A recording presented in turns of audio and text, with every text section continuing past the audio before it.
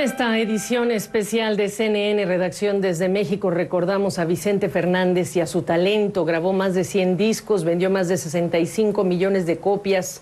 Su carrera despegó definitivamente cuando la discográfica CBS le ofreció un contrato para grabar su primer álbum, El fabuloso Vicente Fernández 1965 con CBS, hoy Sony, el único sello discográfico que publicó la obra de Vicente Fernández de principio a fin.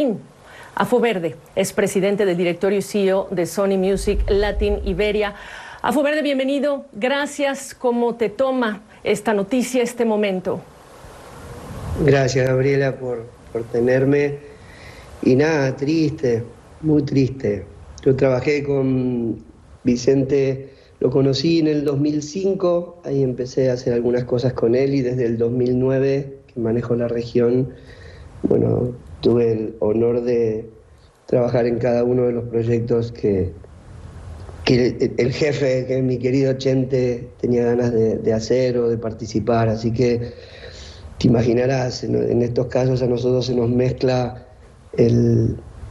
lo que pasa cualquier dolor o impacto de, perder a alguien querido y con esa otra parte que es el trabajo y su su presencia en el mercado y en el mundo, uno de los más grandes artistas de la historia de la música en español.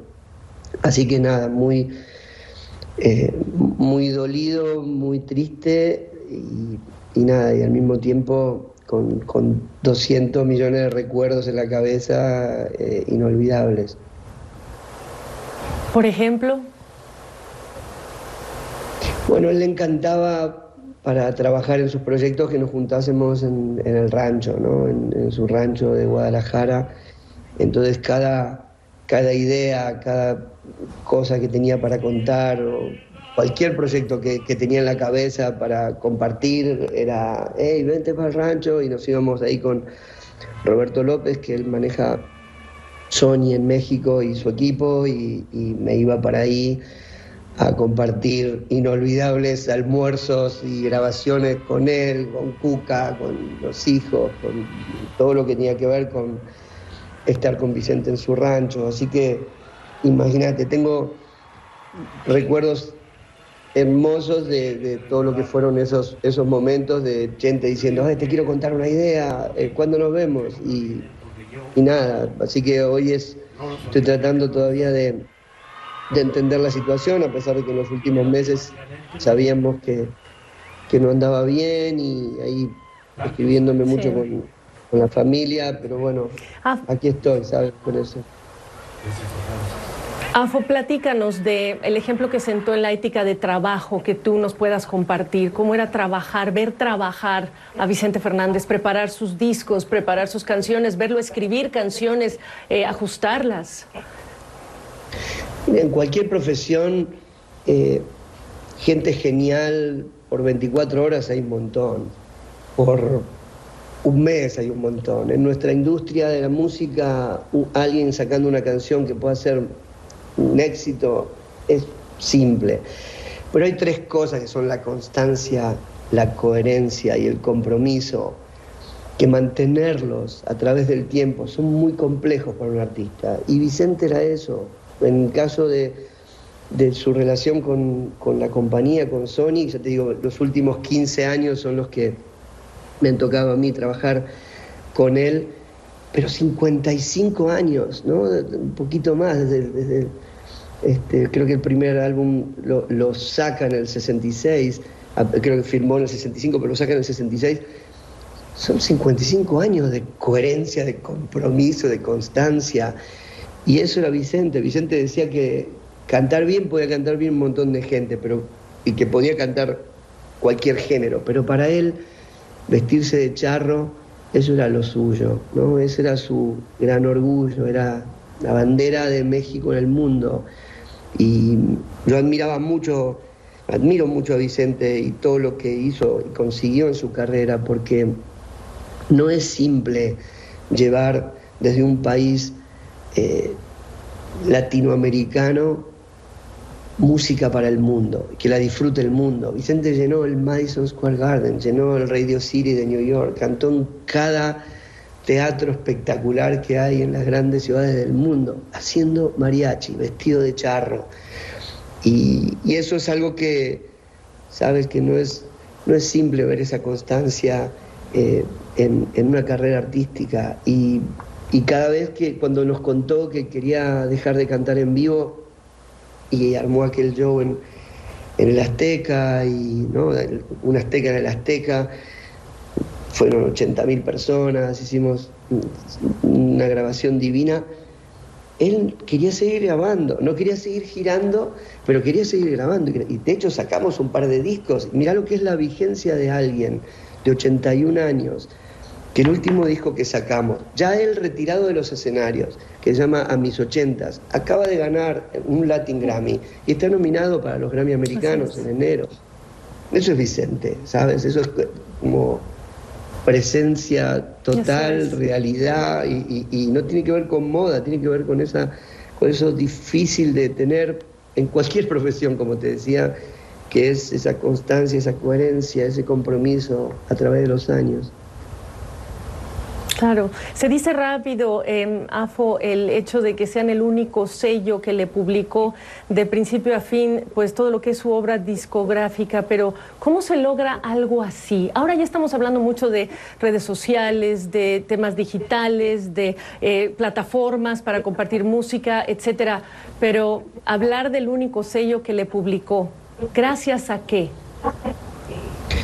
Bueno, yo creo que la filosofía que nosotros tenemos en Sony es la de que es una casa para artistas y que tenemos que cuidarlos eh, bajo todo. Es como, no, hay, no hay límites en, en el intento ese de cuidar a los artistas. Y la única filosofía es que les vaya bien y que estén felices haciendo lo que hacen. Si a ellos les va bien, es la única manera de que nosotros podamos tener éxito. Y creo que esa filosofía se mantuvo desde aquel comienzo de su carrera, cuando él era chiquito y miraba las películas de Pedro Infante y le decía a su mamá, yo un día voy a ser así de grande. Creo que en ese momento él, él mantuvo esa, eh, no sé, como quería hacer eso y creo que la compañía lo, lo, entendió, lo, lo, recibió perfecto y lo protegió como, como se merece un grande como él.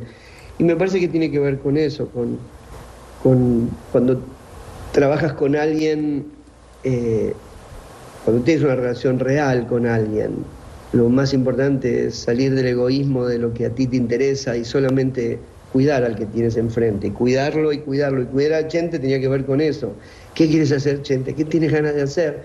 Cualquier idea que surgía era consultarla con él era genial. Me enteraba que se le, no sé, que se le había doblado una rodilla. Una de las últimas conversaciones que tuve con él, estaba ahí mal de la rodilla y lo llamo. Chente, ¿cómo estás? Eh, en una videollamada. Contame de la rodilla. Y se puso a cantar, ¿no? No, mi afo, estoy perfecto. Mira, no, mira cómo estoy. Puedo cantar perfecto. No importa la rodilla. Y nada, eso era Chente, era como, no sé, muy cercano, muy humano, muy, muy muy lindo y, vivimos historias de verdad espectaculares. Yo viví historias con él que a veces creo que no pasaron, ¿sabes? fueron tan alucinantes que no, me las creo. Em, te mandamos un abrazo fuerte porque sabemos que esta partida eh, le duele a muchos de las personas que lo conocieron como tú desde hace tanto tiempo. Quizá nada más para pedirte un nombre, una sola, una sola si tuvieras que escoger tú a título personal de las canciones de Vicente Fernández en un día como hoy. ¿Cuál elegirías para escuchar? Uh, bueno, tal vez una que tiene que ver con, con una historia muy linda que es que estábamos haciendo un disco con Tony Bennett eh, de duetos y le pregunté a Tony, Tony, ¿con quién te gustaría cantar? Y me dijo, con Vicente Fernández. Lo llamé a Chente, oh, Chente, mira, estamos haciendo este proyecto con Tony, Tony quiere, sabes, otro artista de toda la historia de, en la compañía. Sí, sí. Y quiere cantar contigo. Y me dijo, tengo una sola condición. Eh, yo elijo la canción y lo grabamos en el rancho. Genial. ¿Qué quieres grabar? Y me dijo, hay una canción que se llama Regresa a mí, que tiene, que tiene una versión original en inglés, Return to Me, que él puede también cantar su parte en inglés. Nada, lo llamo a Tony, dice que lo grabamos, pero que encantado, feliz y honrado, pero en, en Guadalajara. Bien. Y Tony nos vamos a Guadalajara. Ah. nos fuimos a Guadalajara.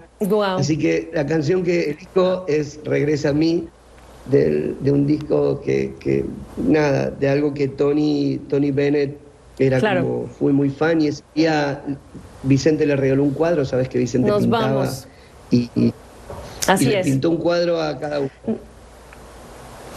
Me voy, Afo, pero no sabes lo agradecidos que estamos, que nos hayas compartido parte de tu tiempo para compartir también esas historias que sin estas conversaciones no son posibles conocer. Afo Verdes, presidente del directorio de Sony Music Latin Iberia. Gracias. Gracias, Gabriela. Gracias. Bye bye.